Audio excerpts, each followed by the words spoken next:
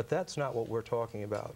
We're talking about people that already have come out of the closet in their private lives and who are well known as gay or lesbian people amongst their friends, their acquaintances, their family, and so forth, but who then lie to the public and say that they're heterosexual. Who benefits from the process of outing? Who really benefits from this? Does the gay and lesbian community benefit? Does the straight community benefit from outing? Who um, benefits? Well, that's kind of a surprising question coming to me as one who has said that, that, you know, I see the pros and cons of the issue and that all told, my organization per se does not choose to, uh, outing as a tactic, although we think that others within the confines that Gabriel has suggested um, should have that right. I do see a, a kind of uh, silver lining in the cloud, which is that um, to the extent that, that outing is, is practiced by a large group, like say the tabloids are now picking up on it, or have been for some time, that it desensitizes people to the shock value of being homosexual.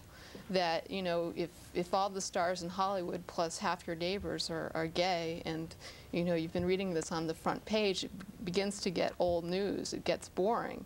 And, I mean, sometimes we joke at GLAAD that our mission will be fulfilled when putting a gay character on a sitcom makes you bored, makes you fall asleep. I mean, homosexuality is a fact of life that in itself should not be all that shocking. Homophobia is shocking.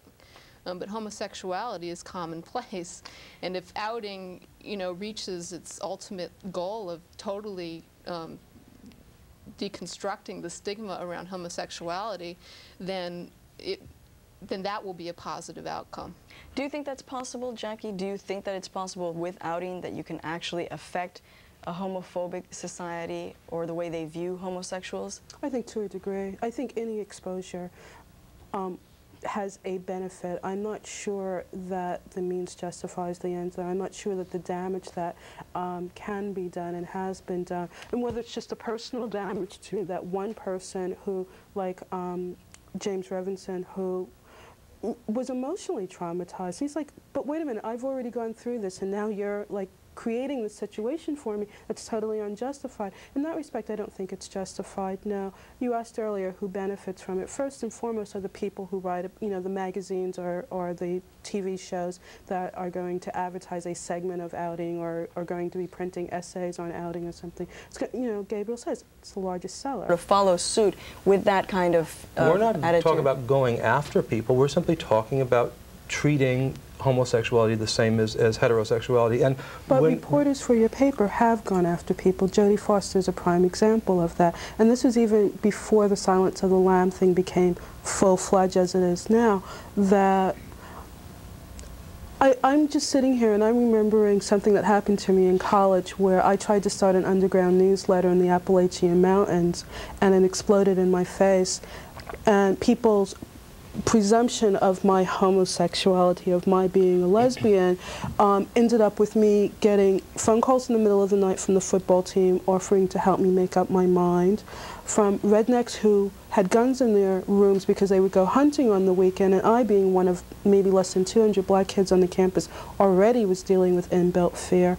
Um, I think that people have a right to choose when and in what communities they come out. I don't agree with what the mainstream media does with people's personal lives either, and I think that's something that hasn't been discussed yet. I don't think what they do is right. I'm a journalist as well, and well, that's why I'm saying that. Right, and being committed to that. And then you're consistent. If you say that I don't, what people I, absolutely. do every day in the press I mean, is Anita, wrong, right. then this is wrong too. But the fact of the matter is that they do it every right, day. But, They're not going to stop doing it. But Gabriel, There's my nothing point, we can do to stop them. So we're just saying let's end the hypocrisy. and wait, I want you to make your point because then I want to go take some okay. calls. So make it quickly. My my point though is that I don't I don't believe that two wrongs make a right. I don't believe that exposing the fact that Anita Baker, as an example, who had a miscarriage a couple of years ago, who was then traumatized by people coming up to her in the supermarket and commenting on it, I don't believe that the media had that right to print that information. That was up to her